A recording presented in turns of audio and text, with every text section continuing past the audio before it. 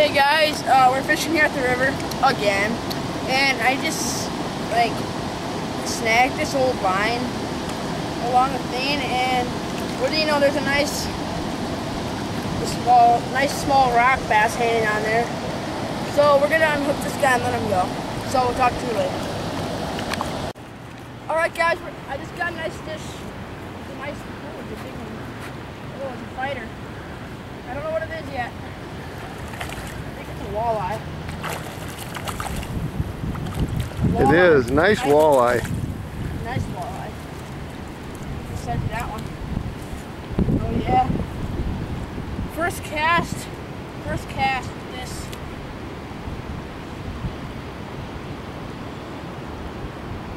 First cast. And he took it good. Wow. He took that minnow good. Yeah. I don't want to get hooks here. Alright. Let's put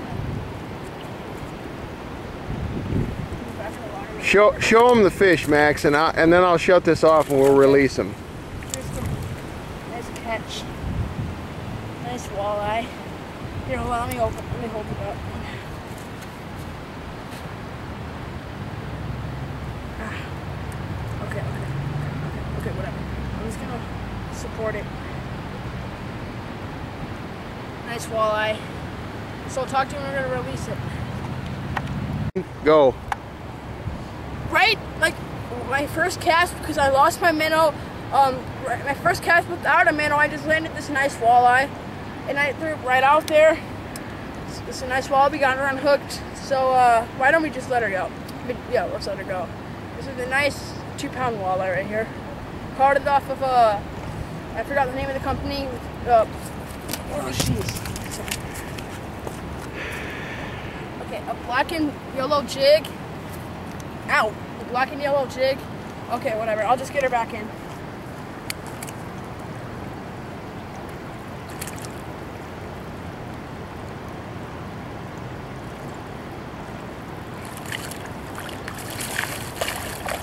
Sorry about that. Anyways, um, sorry about that. She was somewhere. Anyways, I was using uh, Mr. Twister curly tail grub, and I had on um, uh, black and yellow jig, and I threw it right out there and just jigged it back in, and that thing bit it. So I set the hook and got it in. So uh, we'll talk to you and catch another fish.